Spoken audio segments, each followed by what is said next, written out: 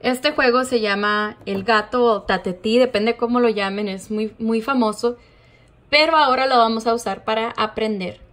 Este, para este juego se ocupan dos niños y la meta de esto es para ayudar a reconocer objetos o vocabulario deseado.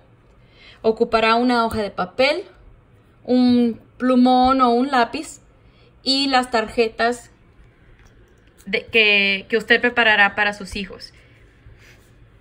Si los niños son de edades eh, similares o están aprendiendo la misma cosa, solamente con un conjunto de, tarjetas. Solamente necesita un conjunto de tarjetas.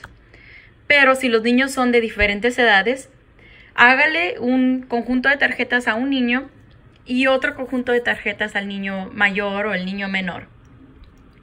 Para que así esté eh, su aprendizaje directamente para ellos y sea justo para los dos niños. Aquí yo he preparado unas tarjetas con letras, que es para un niño menor, y unas tarjetas con palabras eh, de alta frecuencia o palabras que salen mucho en, la lectura, para que así se las memoricen. Vamos a empezar con el niño pequeño.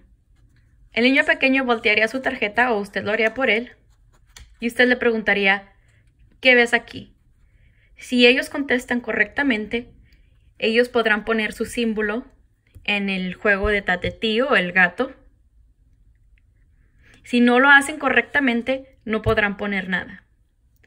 Es el turno del niño mayor. Este niño mayor está aprendiendo, como digo, palabras o a leer, a reconocer palabras de alta frecuencia. Si el niño puede reconocer que aquí dice casa, él o ella podrán poner su símbolo en el lugar deseado. Si no lo pueden reconocer, no podrán poner nada.